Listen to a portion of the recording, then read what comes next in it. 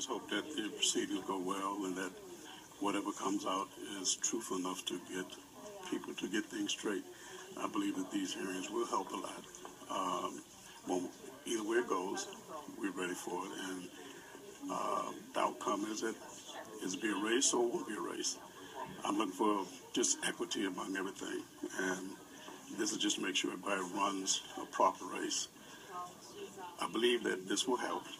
And I believe that whatever the outcome is, somebody be in the uh, the automatic on the mayor's race, and maybe two of us be in the clerk's race. So let's go for that. Does this normally happen in Evanston? No, this is the first to me that I've ever known of. What, why do you think it's happening now? Like, what, what's so different? I have no idea. Um, Trump has something it like, could could be, but let me get out here and, Okay, and talk. all right. Thank you so much, Mr.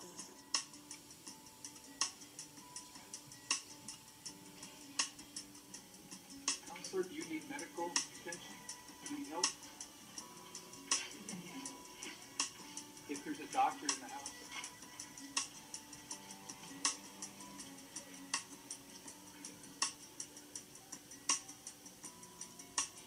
Mr. Greene gets well soon, and I'm grateful that Devon Reed agreed to Monday at nine for the next meeting. Thank you, Mayor.